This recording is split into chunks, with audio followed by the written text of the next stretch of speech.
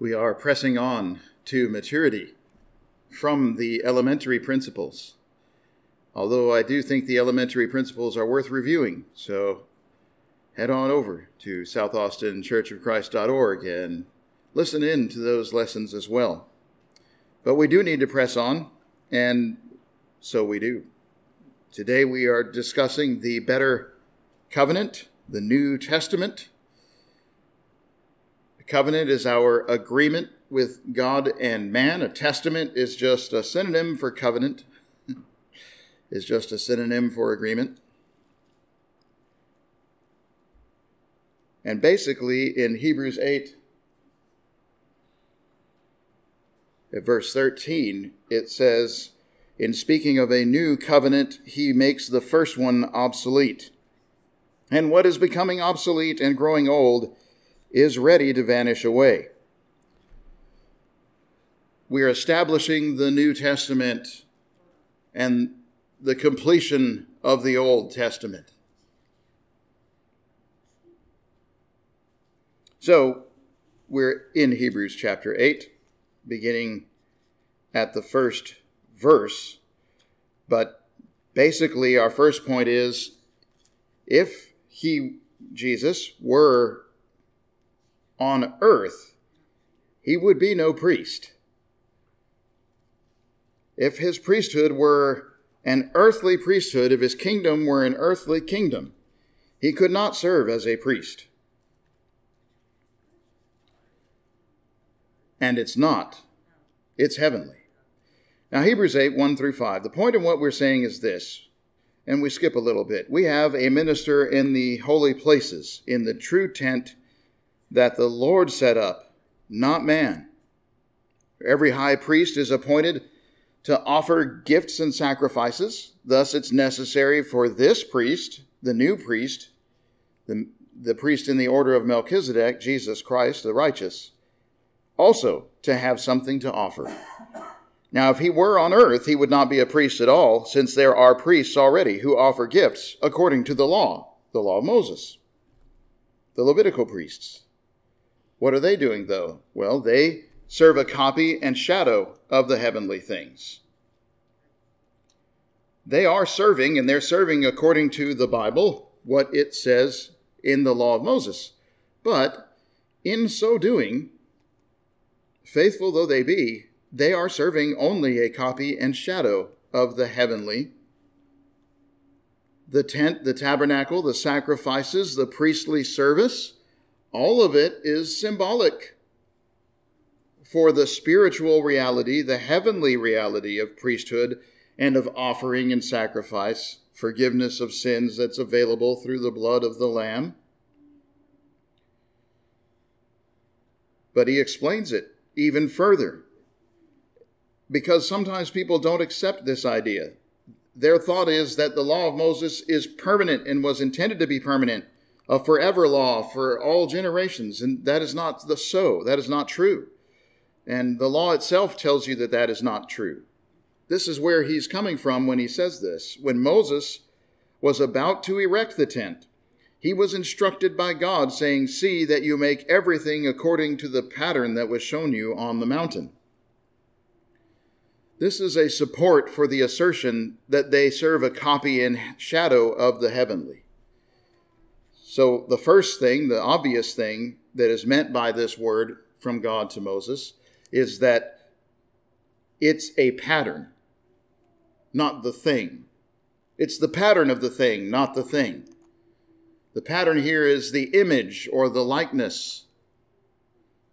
Um, which sometimes in other contexts can be translated as an idol, as in the idols of uh, their gods, the star of Remphan that they carried with them as they wandered the desert, instead of offering to the Lord God as they were supposed to. Which Stephen points out for us very poignantly in Acts 7, basically saying, Well, God gave you a pattern, but you had your own pattern. God had a design, but you had your own designs. Here, they're serving the copy and shadow of the heavenly. Moses was told this thing that you're putting down is a pattern. Make everything in the pattern The other thing that is meant by this, that is a little bit more between the lines, but it's certainly there, is the concept that these patterns are pointing to something spiritual, to a truth, and that the law itself is a pattern. The writing about Moses, the Old Testament as we call it, which is more like the prior testament, um, is itself a shadow and a copy, an image, a representation, a pattern, a symbol to be interpreted and to be interpreted accurately in the Lord. What he's saying to him to us now is that Moses uh, had a pattern. It was very specific and precise, but it was just a pattern. He did not know what was in heaven. He had not seen what was in heaven. He knew that he was writing this down and causing it to be built in this way, and that it was following a pattern, which means it refers to something else. But what is that something else? Well, he didn't know. But he always knew that it was but a pattern, not the, the real thing, just a representation of it in human terms. We also are to understand they made things and they did things as God told them to do it, and they didn't always understand all the ramifications of that. We go back and read this and we can see what God intended by this symbol or by this course of action or by this sequence of events. So, let's structure the argument here.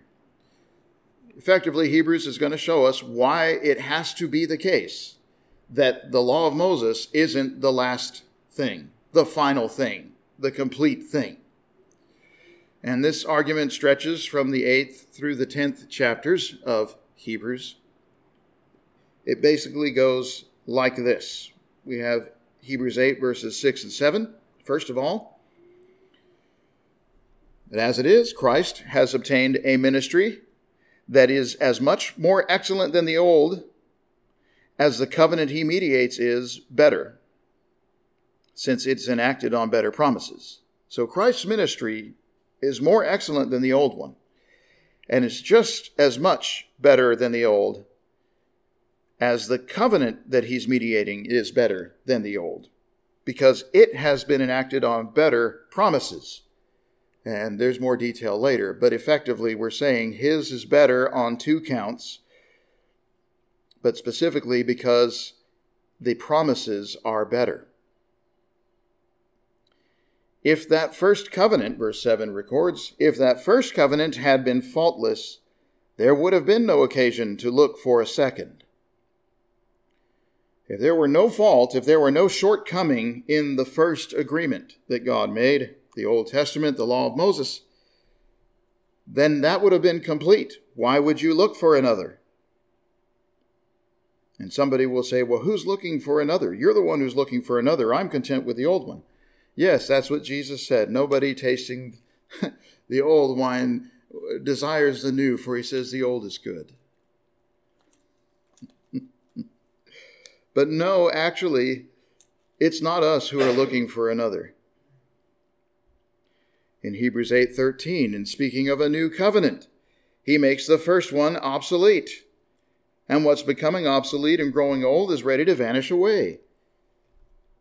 Somebody else spoke of a new covenant that necessarily means the obsolescence of the old. This is not our idea. It's not something we came up with or we invented here at the end of the ages. It's what the law has been saying and the prophets have been saying.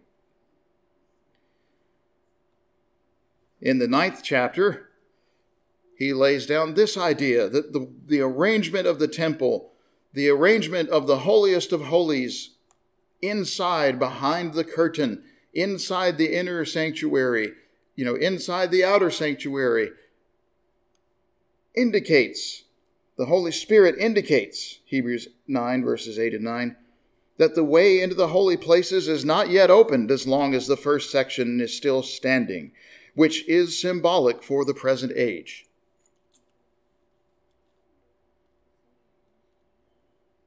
So when you read about the curtain, when you read about the sanctuary, when you read the regulations about who is allowed to go there and how are they allowed to go there or how do they become qualified to go there,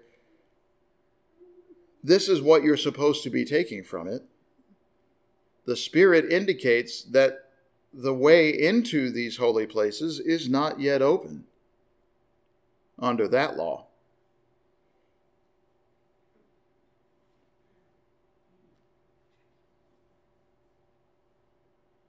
And in the ninth chapter, verse 23 and 24, it was necessary for the copies of the heavenly things to be purified with such rites, as you read about earlier.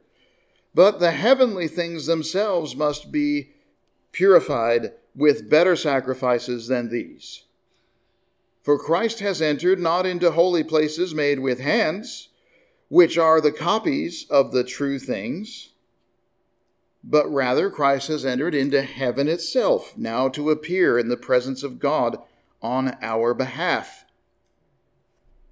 It's not the representation of the holy place on earth, which is inaccessible by anybody except the high priest, and only once a year, and only with the blood of the sacrificial lamb. No, Jesus is appearing in reality Christ has entered not the holy places made with hands, which are copies of the real. He is entered into heaven itself, the real thing, now to appear in the presence of God on our behalf. Our high priest, Jesus Christ, not the Levitical one, enters the real temple, the real sanctuary, the real holiest of holies, and is in heaven with God interceding on our behalf. And then the 10th chapter continues, verses 8 and 9. When he said above, You have neither desired nor taken pleasure in sacrifices and offerings, and burnt offerings and sin offerings, these are offered according to the law. Then he added, Behold, I've come to do your will. He does away with the first in order to establish the second. This is a reading from the prophets. And in the prophets, he said, there's no desire or pleasure in the sacrifices, the offerings, the burnt offerings, and sin offerings. These are the categories in Leviticus. These are the sacrifices of the law of Moses. After saying this, the next thing he says is, Behold, I have come to do your will. But he had no desire for those offerings. This means there's a, there is a will to be done. There is a second. We're not the ones who are looking for a second.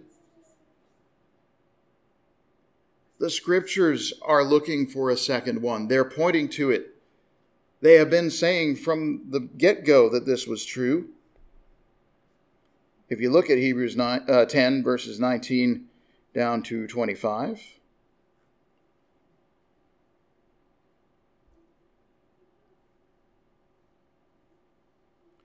This is the conclusion, really. Therefore, brothers, since we do have confidence to enter the holy places by the blood of Jesus, by the new and living way that he opened for us, through the curtain, that is, through his flesh. And since we have a great priest over the house of God, let us draw near with a true heart, in full assurance of faith with hearts sprinkled clean from an evil conscience, bodies washed with pure water. And since we have that great priest over God, over the house of God, let us hold fast the confession of our hope without wavering. For he who promised is faithful. And since we have that great high priest over the house of God, let us consider how to stir up one another to love and good works, not neglecting to meet together, as is the habit of some, but encouraging one another and these we do all the more as you see the day drawing near.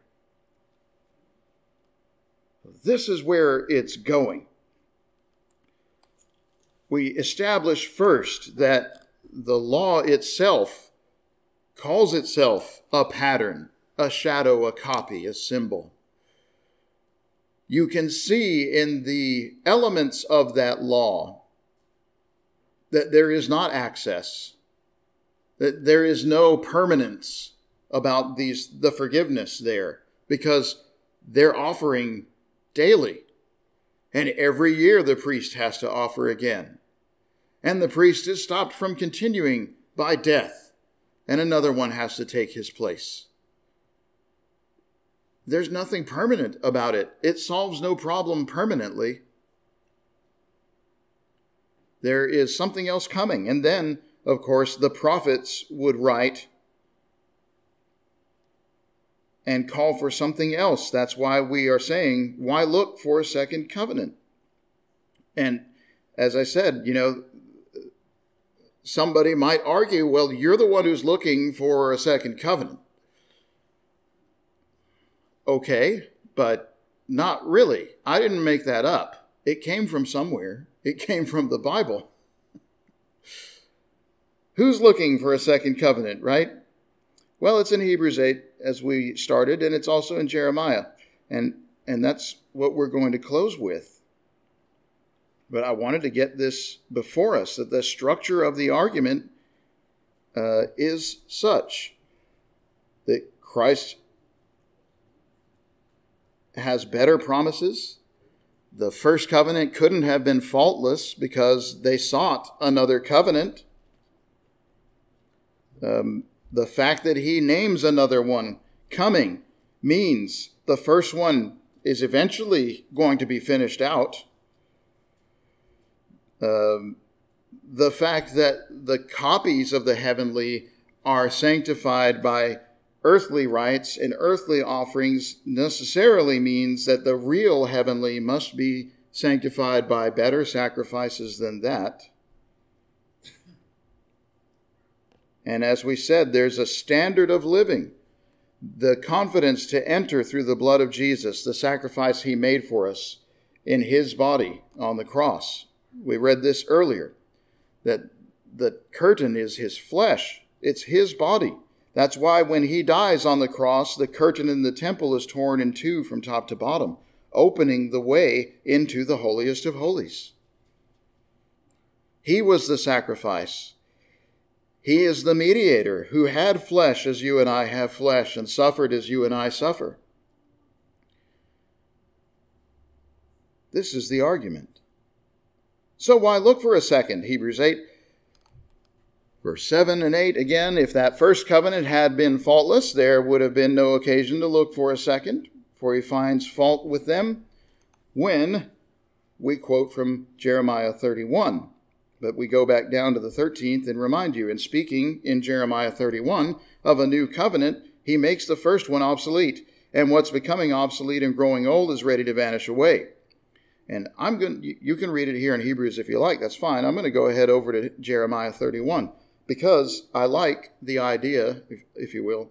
I like this concept of the, um, the exercise, the practice, if you will, of going to the Old Testament text and finding Jesus there. Because this is what it means to press on to maturity. When you look in the book of the Acts at how they did this, they taught from the Old Testament. They proclaimed Jesus from the Old Testament. You can see in Acts 8 how the Ethiopian eunuch is reading Isaiah 53 in his chariot, and from this verse, Philip preaches Jesus to him, which you know, Isaiah 53 should be an easy one to start with. But you could start with lots of them. Jeremiah 31 is a good one too. That's what we're about to read. But all of these places, that's what they're doing. In Acts chapter 7, when Stephen is preaching, we referred to him earlier, but that entire lesson is not a reminder of their history or a claim that he's a Jew too and legit. That entire lesson is pointing out every symbol of the rejection of God's chosen ruler, Jesus Christ. That's what he's doing. And they get it. They understand that that's what he's doing because it enrages them and they kill him. That's because it was so true and so undeniable. The pattern is very clear and very obvious. That's what he was doing in Acts 7. And this is the same kind of thing. We look at the old, but we teach the new. In Jeremiah 31 31 to 34, Behold, the days are coming, declares the Lord, when I will make a new covenant with the house of Israel and the house of Judah not like the covenant that I made with their fathers on the day when I took them by the hand to bring them out of the land of Egypt. Hmm. Which one was that? Let me think. Hmm. If you think back in your Bible, when did they. right? Okay, pretty clear what we're talking about here, right?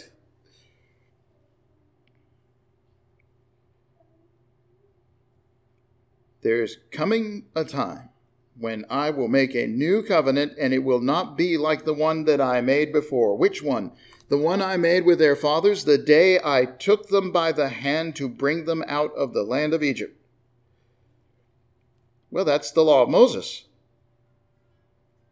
It's clear. Moses is the one who marched forward, who led them in the wilderness, who gave the law, the tablets that came down from Mount Sinai. It, that all came through Moses, the law of Moses, very obvious. He said, That covenant, it's going away. Days are coming. I'm going to make a new one, not that one. Jeremiah couldn't be plainer that it's temporary. My covenant, which they broke, though I was their husband, declares the Lord. I was faithful to them, and they should have been faithful to me, but they weren't. That's what he's saying. They didn't keep my agreement, they were unfaithful to their vow. This is the covenant I will make with the house of Israel after those days, declares the Lord. I will put my law inside of them. I will write it on their hearts. I will be their God. They will be my people. No longer will each one teach his neighbor and each one his brother, saying, Know the Lord, for they will all know me, from the least of them to the greatest, declares the Lord. For I will forgive their iniquity, I will remember their sin no more. And so again, the kind of law that he makes now will be written inside of us, written on our hearts. And Paul, the apostle, writes about this in one of his letters about that the law is written on not on tablets of stone, but on tablets of flesh, that is, on the human heart. That we have the law written in ourselves. And Jesus said, The kingdom of God comes not with observation, but it is within you. True, we have no flag, we have no border, uh, we have no custom or culture, uh, no identifying characteristic, no race or nation. It does not come with observation. It's a spiritual kingdom inside of us. And he said, I will be their God, they will be my people. And we're reminded of 1 Corinthians 6 and 7, uh, these ideas that God said, Come out from among them and be separate, and I will be a father to you. I will be God to you, I will be king to you. And he says, No longer will they teach each one his neighbor and each one his brother, saying, Know the Lord. They'll all know me, from the least to the greatest. Because in the law of Moses, you're born Jewish. And as you grow up, they teach you that you need to know the Lord. You know, you're, you're Jewish, but you don't know the Lord because you haven't been taught, you know. That's not going to happen that doesn't happen today in the kingdom of God because the kingdom of God today is a spiritual kingdom that people press their way into by force. The people choose to do this and they make a decision and they go against the grain when they do it. This world doesn't appreciate it, doesn't support it, is not friendly to the idea uh, to help us on to God. That's not the way it is. We all choose to serve Him and we choose to obey the gospel of Jesus for forgiveness of sins. And in so doing, you know the Lord. Nobody has to teach you to know the Lord. You can't be a citizen of this kingdom, a, a child of God, a Christian, without knowing the Lord. It's not possible to obey the gospel unwittingly.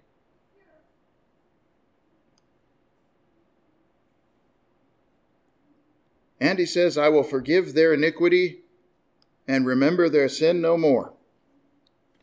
The law of Moses cannot forgive sins, it's only a temporary respite. And uh, there's more details we'll go through eventually. But for now, suffice that to say, the sacrifice of Jesus is a better and a permanent one, and it really does take away sins. We truly do have forgiveness of our iniquities in the blood of Christ. And we truly do have um, no remembrance of former things with God. All has been made new. You really do have a new start, a new creation, a new beginning in God. Your life starts over when you obey the gospel. You're a child of God, a clean slate, forgiven and free. Well, the world doesn't necessarily like it, and they may not be nice, but they don't know any different. It's up to you to show them the great blessing that it is to be a child of God and have forgiveness, the rest that is brought to your mind, knowing that you are heaven bound, knowing that you are doing what God expects. And for that matter, your knowledge from Ecclesiastes that there are no other guarantees here. Oh, we'll be sad, we'll be disappointed when things don't work out, but we don't rest our hope on those things we know that they may not work out. If you are not yet a child of God, become a child of God. Obtain for yourself forgiveness. We have this great high priest. We have this great entrance into the holiest of places through him. We have a boldness to draw near to him. And here we have water that you might be baptized in his name for forgiveness of sins, that you might draw near with that conscience sprinkled clean with the blood of Christ, if you will, the body figuratively washed with pure water in baptism. If today you are already a Christian but haven't lived right, listen to the rest of what Hebrews 10 had to say that we are to continue encouraging one another, building one another up, pressing on in the faith, knowing that the time is coming knowing that we have a great high priest in the heavens, knowing that we are dealing with the great God of the universe. And these things are the important things, the real issues of life. Remind yourself, pick yourself up, let's get going again, my brother and sister.